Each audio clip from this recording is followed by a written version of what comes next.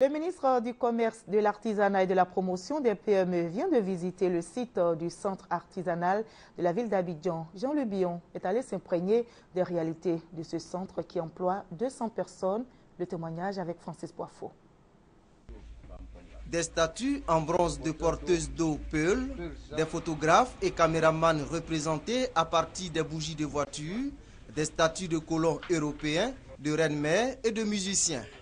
Les artisans du Cava, centre artisanal de la ville d'Abidjan, ne manquent pas d'imagination et cela séduit les visiteurs. J'ai eu la chance de voyager dans plusieurs pays africains, mais je trouve qu'ici, il y a vraiment un concentré de, beaucoup de, de know-how, de capacité et, d'art. Et donc, je suis très contente euh, de, voir des pièces nouvelles que je pourrais donc euh, avoir chez moi. Bien que le Cava attire les quelques visiteurs de par la qualité des objets fabriqués et exposés, Beaucoup reste à faire pour sa promotion.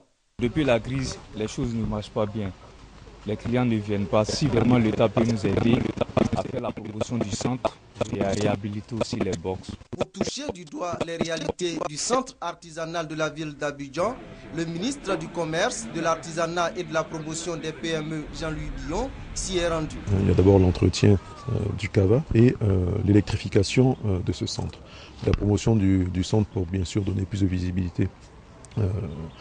Cette promotion peut se faire au niveau de l'aéroport, au niveau des hôtels, au niveau de la communication en général. Hein. Donc tous ces éléments-là euh, sont des choses que nous prenons en compte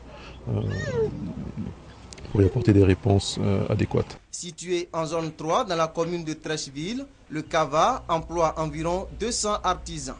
Il a été créé en 1991.